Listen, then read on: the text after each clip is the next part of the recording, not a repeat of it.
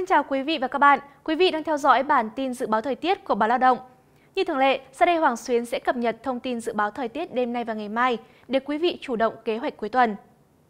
Thưa quý vị, như quý vị có thể thấy, trong những ngày gần đây, thời tiết Bắc Bộ duy trì hình thế có mưa vài nơi, sáng sớm có nơi có sương mù nhẹ, trưa chiều trời nắng. Dự báo trong ngày mai ngày 29 tháng 9, phía Tây Bắc Bộ có mưa rào và rông rải rác, trong mưa rông có khả năng xảy ra lốc, xét và gió giật mạnh. Nhiệt độ thấp nhất từ 21 đến 24 độ, nhiệt độ cao nhất từ 28 đến 31 độ C. Theo biểu đồ nhiệt từ Trung tâm Dự báo Khí tượng Thủy văn Quốc gia, Bắc Bộ và Thanh Hóa thời kỳ từ đêm ngày 29 tháng 9 đến ngày 1 tháng 10 có khả năng có mưa rào và rông rải rác, cục bộ có nơi mưa to. Sau mưa vài nơi, từ đêm ngày 1 tháng 10, đêm và sáng sớm trời lạnh, vùng núi có nơi trời rét. Khả năng sự chuyển biến thời tiết này là do tác động của một đợt không khí lạnh.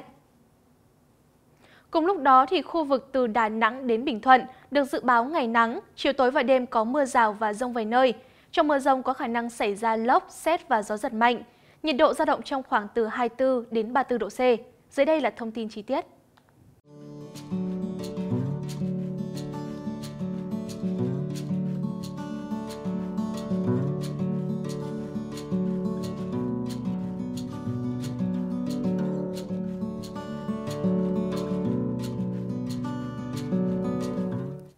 Kính thưa quý vị, tiếp nối bản tin là thông tin thời tiết biển.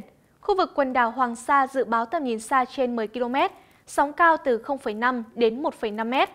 Còn khu vực quần đảo Trường Sa tầm nhìn xa trên 10 km, sóng cao từ 0,5 đến 1,5 m. Quay lại thời tiết trên đất liền, trong ngày mai ngày 29 tháng 9, khu vực thủ đô Hà Nội dự báo có mưa rào rải rác và có nơi có rông. Nhiệt độ thấp nhất dao động trong khoảng từ 24 đến 26 độ C.